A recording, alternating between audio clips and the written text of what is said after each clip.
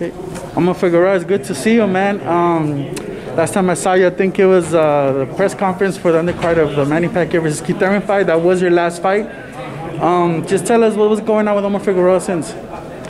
Just a lot of growth, a lot of just you know working on myself, bettering myself physically, mentally, spiritually, however you want to name it, and that's basically what I've done. Yeah. You want to slip this down? I know we're all COVID tested. I think just so the fans recognize you. That's Oh, the, the money maker.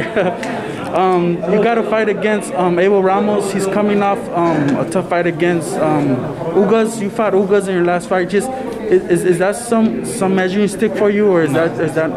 I did not look at a single one of his fights. I don't care about what Abel Ramos does. I know that as long as I work on myself and I get myself to 100%, there's no one that can come close to touching me. Uh-huh. Your last outing, what, what has changed since for the fans? Just uh, Omar Figueroa. my mind. What what made the change? All of a sudden, was it a I had to get my shit together, man. At some point, I had to get my shit together, and it finally happened. Yeah, um, Abel Ramos is promising a knockout. I, I, I think he, he, he rebutted what you said. Um, there's obviously you guys are gonna engage. You guys are, are welcoming each other into a good fight. Ma- fighting May 1st on this card, all Mexican action card. Um, just um, the fight with. Are you gonna bring the same style? We're gonna see a, a different Omar Figueroa as well as you've said We're you worked on see yourself. a different Omar, of course, but it's the same. The same. The the objective is the same to destroy my opponent. Now we're just gonna go about it a different way. Yeah. Hopefully, it works out. Sometimes he boxes, sometimes he looks good, sometimes he doesn't. He has been beaten, but um, what, what Omar, what um, Abel Ramos do you expect?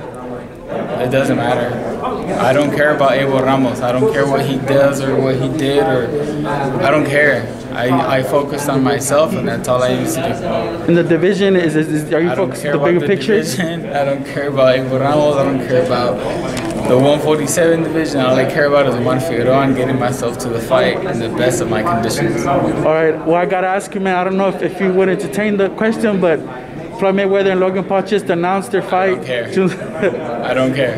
All right. Tell the fans where to follow you on social media. I want to let you go. Omar Figueroa Jr. just anywhere, uh, Twitter, Instagram, Facebook, Snapchat. Cool. Thank you, Omar.